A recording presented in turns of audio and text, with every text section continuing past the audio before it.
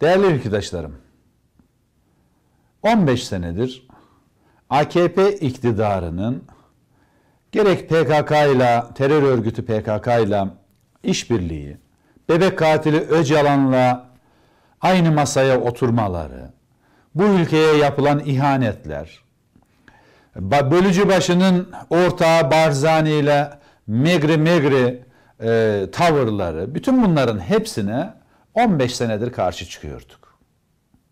Bir gece uyandık ki bütün bunların hepsi unutuldu ve ülkücülere gerekçeleri açıklanmadan başkanlık sistemi ni kabul edeceğimiz, başkanlık sistemini getirip bu milletin önüne koyacağımız söylendi.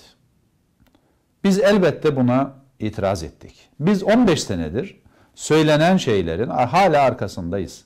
Biz 15 senedir bu ülkeyi bu hale kimlerin getirdiğini söylemeye devam ediyoruz. O sebeple de bu anayasa referandumunda hayır diyeceğiz.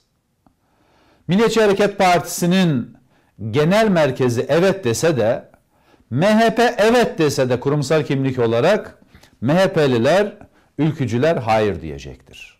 Bu sebeple ülkem için hayır diyoruz, ülküm için hayır diyoruz. Bu ülkenin geleceğinin karanlık olmaması için hayır diyeceğiz ve ülkücülerin göz bebeği Milliyetçi Hareket Partisi'nin iki partili sistem içerisinde yok olup gitmesini önlemek yani ülkümüzün geleceği için hayır diyeceğiz. 18 Şubat'ta önümüzdeki cumartesi günü bütün ülkücüleri Ankara'ya hayır demeye davet ediyoruz. Ankara'da sizi bir kahve içmeye, ülküm için, ülkem için hayır demeye davet ediyorum.